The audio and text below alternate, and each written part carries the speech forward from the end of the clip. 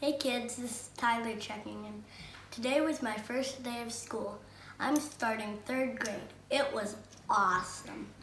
I really hope you guys have a good school year too. Um, I got my buddy Tyler the Tiger with me. He's all ready for school too. You know, all animals have to go to school too. Well, that's Tyler signing out for this week.